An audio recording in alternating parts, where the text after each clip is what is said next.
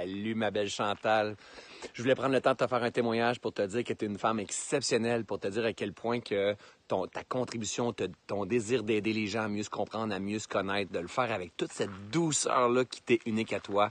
Euh, euh, on a besoin de gens comme toi sur la planète. Pour moi, c'est un plaisir de, collaborer hein, à chaque fois que je te vois avec toi, que ce soit à tes émissions, pour ton livre ou quoi que ce soit, de collaborer avec toi. Je crois en toi. Je crois que tu as un, grand pouvoir d'aider les gens à mieux se comprendre, à mieux se connaître pour emmener ce monde-là meilleur. On marche le même terrain, en fait. On fait exactement la même chose. Puis on peut pas faire ça tout, toute seule, donc on a besoin d'aide. Puis euh, c'est un plaisir pour moi de, le faire avec toi. J'ai bien hâte de te revoir pour te faire un gros câlin. Alors, c'est ça mais qui te dit, comme à l'habitude, je t'aime, je t'adore et on se revoit très bientôt. Ciao, ciao!